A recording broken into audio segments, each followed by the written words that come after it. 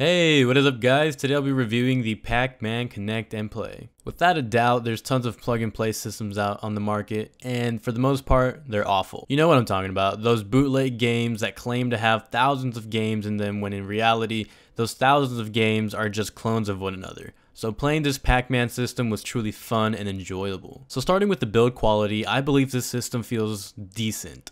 All of the controller's parts are made out of plastic, but somehow it feels okay in the hands. The Pac-Man shaped controller isn't the most ergonomic, but it's part of the play and store design.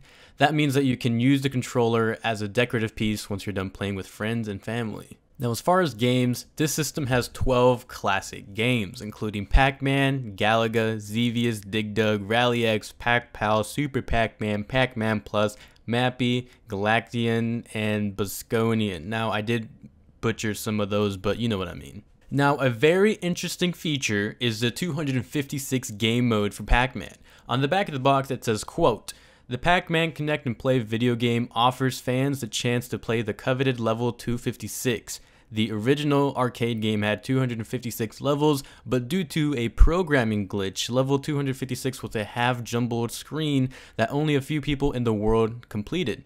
Now players can start at level 255 and perfect their skills to become a master player. So basically, you get to cut to level 255, which probably took someone else days to achieve. I also love how seamlessly the game plays and how seamlessly the interface works.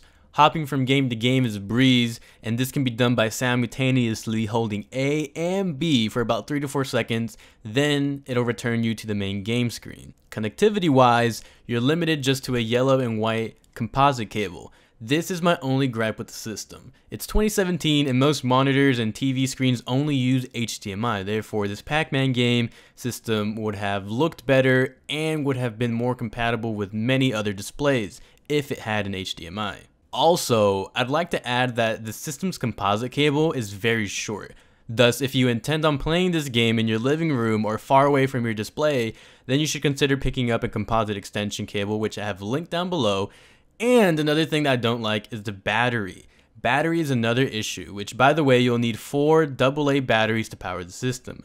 I personally like using rechargeable batteries because they save you money and time in the long run. Again, all the links are in the description down below. Overall, this Pac-Man game system is phenomenal. It's a great childhood throwback that actually works, and it includes more than just a Pac-Man game. So if you're looking for something affordable to take to a party, or just wanting to have a nice Pac-Man decorative piece that doubles as a fully working Pac-Man game, then this is your best bet. Thanks for watching guys and hopefully you guys enjoyed the video and if you did make sure to hit that like button, subscribe and all that good stuff and I'll see you guys in the next video. Peace out.